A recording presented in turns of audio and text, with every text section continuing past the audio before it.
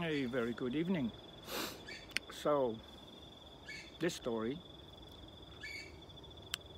I actually made myself homeless for a while. It's probably going to be six weeks. And um, I've got my reasons for it. But um, I'll still be working one or two days a week on the buses. But um, I had my sort of Monday to Friday because it's Friday night now, and um, I'm really enjoying it. it um, I've got the, the noise over there, that's the crickets. The noise over there is actually the motorway. I'm actually close to an industrial estate and close to a mall, so because it's an urban environment, um, because my kids are of course in Auckland and uh, my work is in Auckland as well.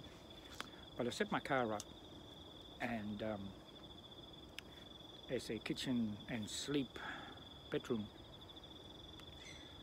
which works really well. I'm surprised.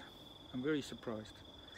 I get to places and, and, and, and I do things and um, you know all the toilets have covered things and you clean the things, you clean the seats, you can actually clean the seats before you go there, stuff like that. I've got a, um, a card for the swimming pool where I can have showers.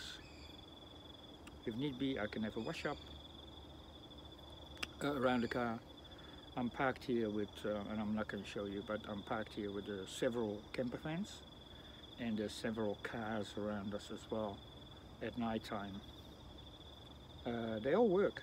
They're not, they might be homeless, but they all work. And they're not families or anything. It's mainly men and women who, for whatever what reason, may be separated, stuff like that. They uh, live in their cars.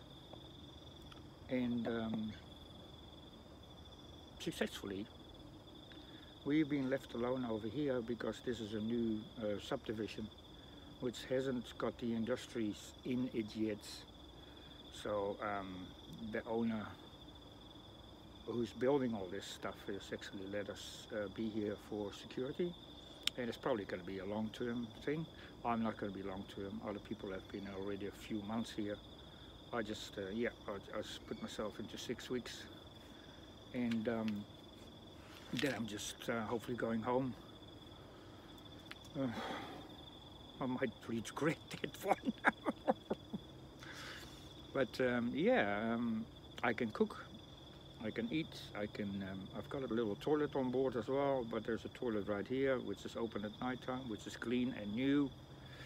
There's a shower, there's a cold shower, but I, yeah, what I said before, I can have a, a hot shower at the, at the, pool if I want to. And, um, and have an exercise as well. Have a little bit of exercise as well uh, which I have at 6.30 in the morning. I met some really interesting people, some of them a bit dodgy um, and uh, not uh, you know, some you know, people I really would like to have around all day or every day. Um, and other people are just couples. There's some couples here as well, um, mostly towards retirement and they just park up here and um, yeah it's just outside Auckland basically West Auckland outside Henderson and Te where, where my uh, kids live. And um, Maggie is in my house at the moment just having a holiday. I'm having a holiday. But also uh, really yeah checking out how it is to be a gypsy basically. Because yeah I come from a woonwagen background in Holland and every, every Dutchman knows uh, what that is. It's basically, uh, yeah, travelers and I really enjoy it.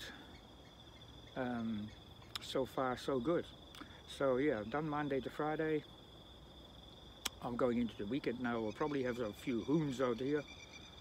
Um, but they stay well away from this section because these streets are not big enough over there they, they can do their wheelies and stuff they'll probably have some Friday Saturday Sunday usually pretty quiet but uh, yeah Nico signing off for now I just had my cup of tea and some noodles and some fish Um, yesterday I had some chicken and um, chick- made a chicken salad.